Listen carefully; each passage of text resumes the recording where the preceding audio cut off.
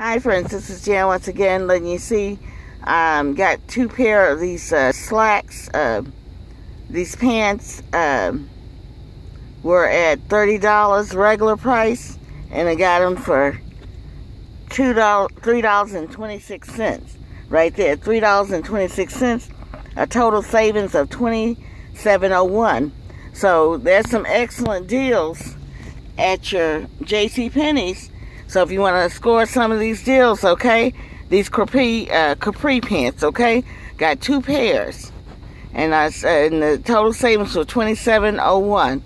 So going out to J.C. Penney's, it's not too late, friends, to get you some of these clothes and um some other items. Thanks. This is Jan with Show That Girl. See ya.